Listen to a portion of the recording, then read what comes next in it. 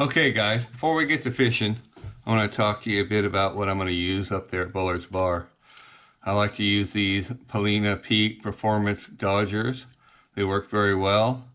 Uh, this one, orange one here, and the Chilean Sunrise is uh, very good. And I also like this one in the Pink Moon. They work very well for me up there.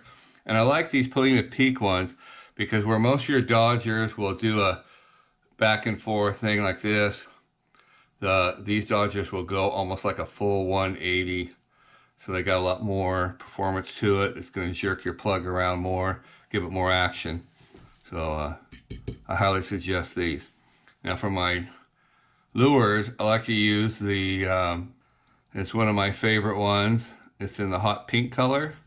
And this gold diver down is a very good lure. Sometimes it's really hot and sometimes it's really not. But I like to keep it around. And I also like this Lady M lure. It's been out for a few years. Most people uh, heard of it by now. And I also like to use uh, tuna right out of the can. This is packed in oil. And I also add a little bloody tuna to it. And I use the bait oil, not the uh, gel. The gel, you want to use that when you're just going to rub it right directly on a lure. If you want to mix it in with the oil it's in the tuna, you just want to use the regular oil. And I also put a few drops of anise oil in there. That works very well. Mix it all together. Gonna open up this little hatch on these. Put a little tuna in there. Close it back up. Like that. Yeah. Okay, I also like this uh, Jolly Green Giant. It's the white Shoepeg corn. It works very well. It seems to be the corn to use for kokanee. So make sure you get that. And then sometimes I'll add a little bloody tuna and anise right into the corn.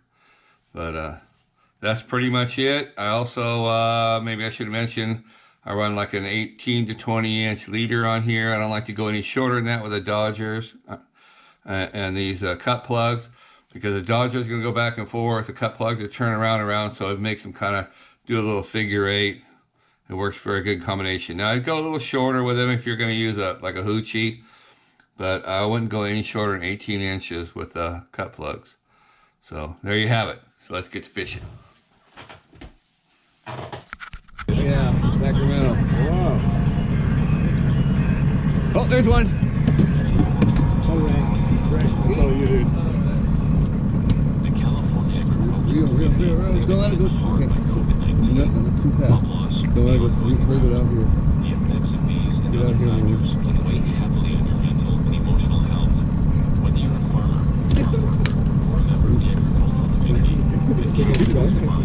yeah. No, no, it's him. Oh, yeah? No, no, no, no, no, no. no, no, no.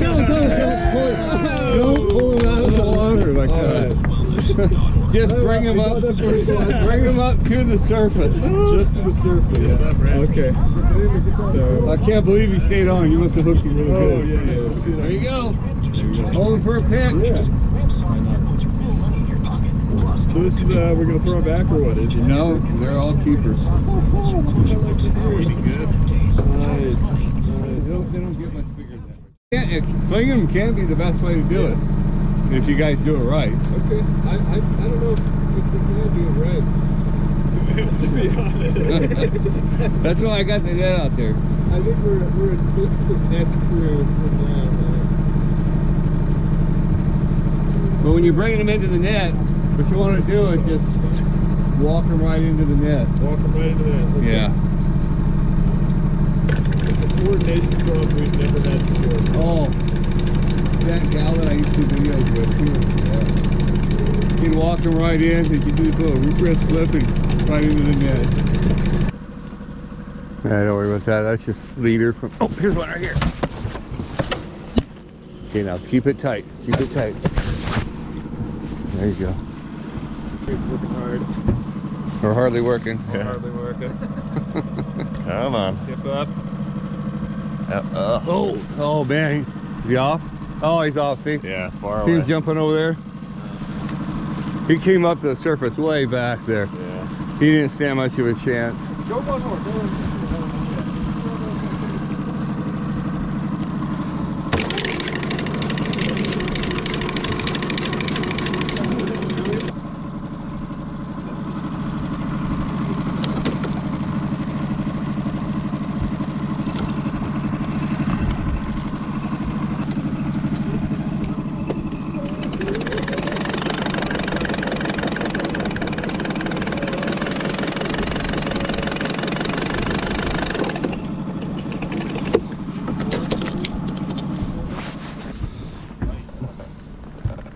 Okay, we're out here on Bullard's Bar for the first time this spring. We Got a pretty good group of guys here. Got a few fish in the box. Lost a few. Probably gonna lose a few more. we're doing all right though. I'd say. So, uh, one thing though, I would like to ask you guys to be sure and uh, subscribe to my channel on YouTube, Rustic Rob's Guide Service. You got it. I need subscribers. I need them bad. I already got my hours to get monetized, but I don't have my subscribers yet.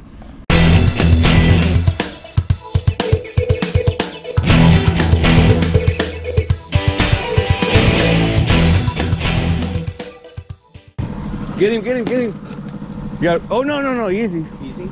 Yeah. You gotta rip it right out of his mouth. Okay.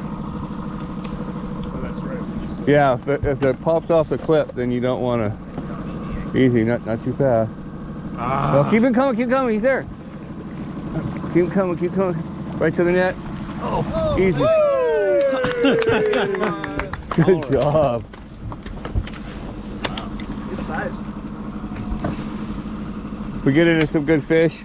Yeah. We'll get so much action.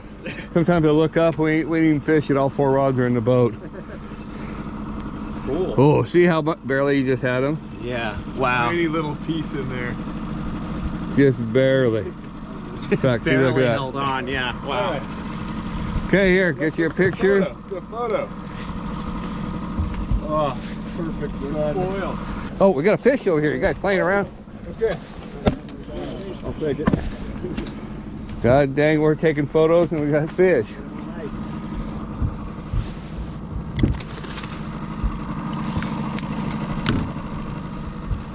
He's gonna, he's gonna be, he's close to this. Ah. Keep it down, keep it down, keep it down.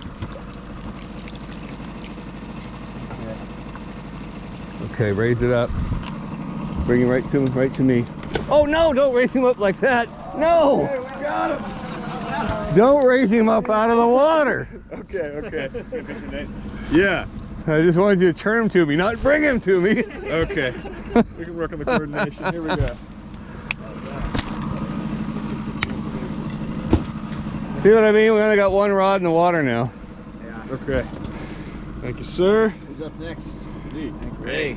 Ray, you got Ray. Dump Sam, him. watch watch the one rod that we have in the water. Yes.